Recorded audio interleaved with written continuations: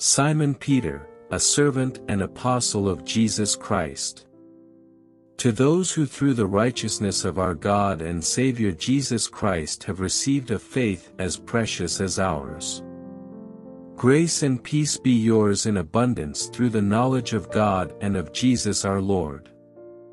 His divine power has given us everything we need for a godly life through our knowledge of Him who called us by His own glory and goodness. Through these He has given us His very great and precious promises, so that through them you may participate in the divine nature, having escaped the corruption in the world caused by evil desires. For this very reason, make every effort to add to your faith goodness, and to goodness, knowledge. And to knowledge, self-control, and to self-control, perseverance, and to perseverance, godliness. And to godliness, mutual affection, and to mutual affection, love.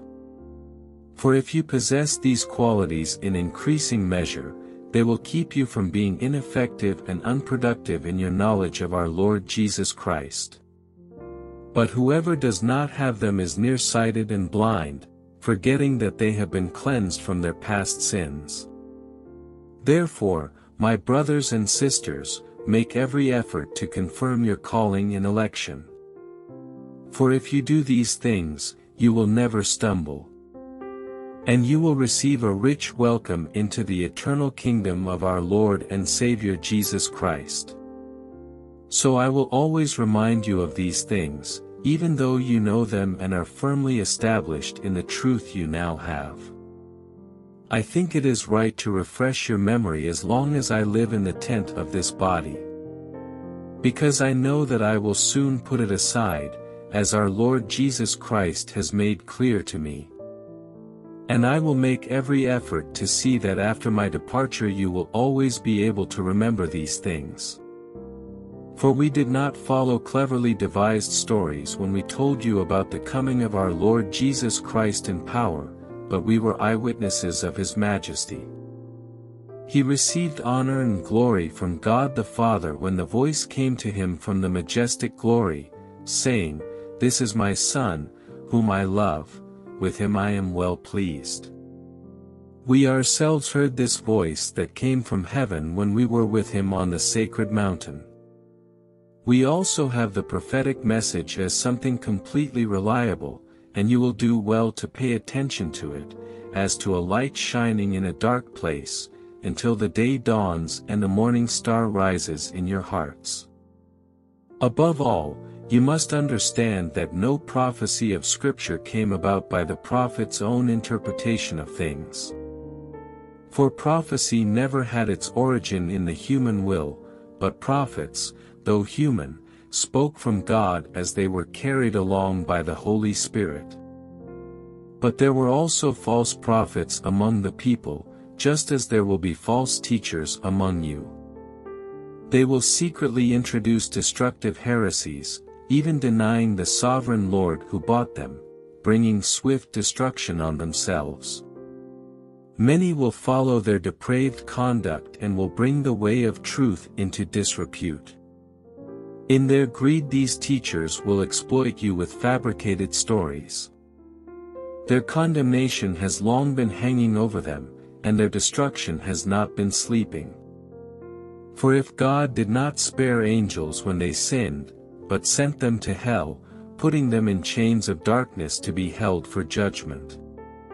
If he did not spare the ancient world when he brought the flood on its ungodly people, but protected Noah, a preacher of righteousness, and seven others. If he condemned the cities of Sodom and Gomorrah by burning them to ashes, and made them an example of what is going to happen to the ungodly. And if he rescued Lot, a righteous man, who was distressed by the depraved conduct of the lawless. For that righteous man, living among them day after day, was tormented in his righteous soul by the lawless deeds he saw and heard. If this is so, then the Lord knows how to rescue the godly from trials and to hold the unrighteous for punishment on the day of judgment. This is especially true of those who follow the corrupt desire of the flesh and despise authority. Bold and arrogant, they are not afraid to heap abuse on celestial beings. Yet even angels, although they are stronger and more powerful, do not heap abuse on such beings when bringing judgment on them from the Lord. But these people blaspheme in matters they do not understand. They are like unreasoning animals, creatures of instinct, born only to be caught and destroyed, and like animals they too will perish. They will be paid back with harm for the harm they have done. Their idea of pleasure is to carouse in broad daylight. They are blots and blemishes, reveling in their pleasures while they feast with you.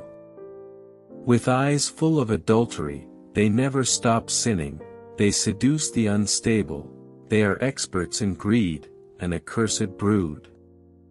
They have left the straight way and wandered off to follow the way of Balaam son of Bezer, who loved the wages of wickedness.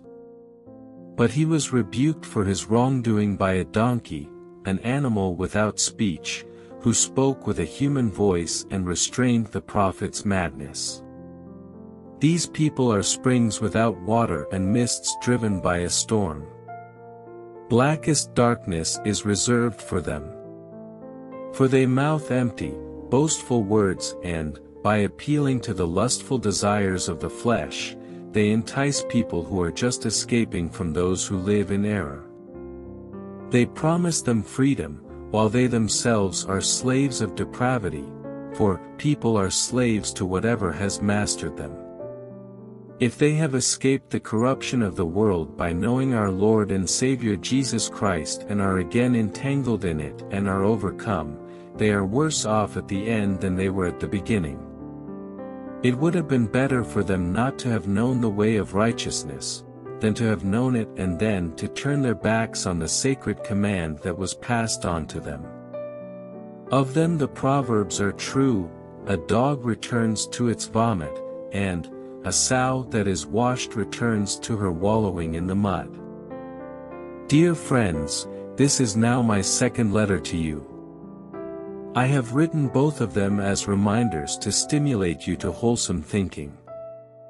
I want you to recall the words spoken in the past by the holy prophets and the command given by our Lord and Savior through your apostles. Above all, you must understand that in the last days scoffers will come, scoffing and following their own evil desires. They will say, Where is this coming he promised? Ever since our ancestors died, everything goes on as it has since the beginning of creation.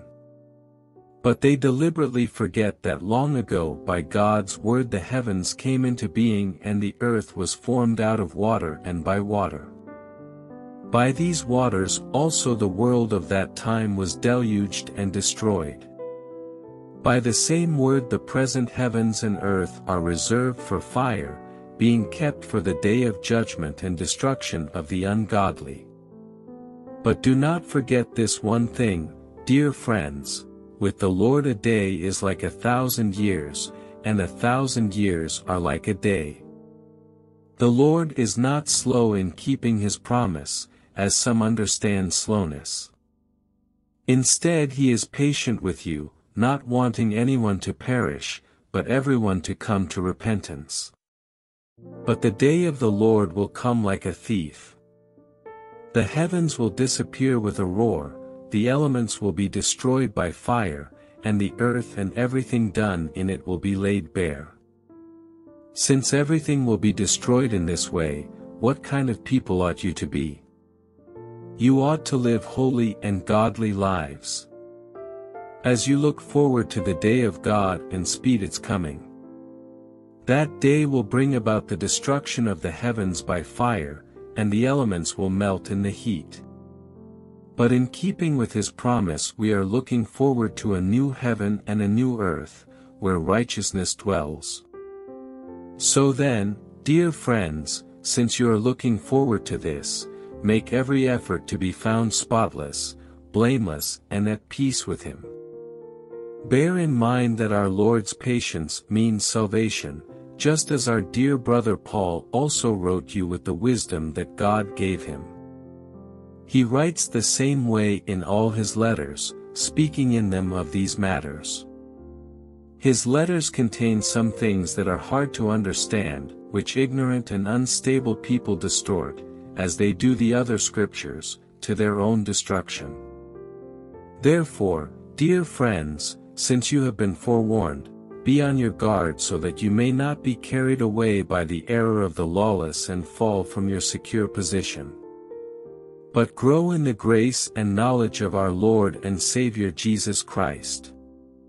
To him be glory both now and forever. Amen.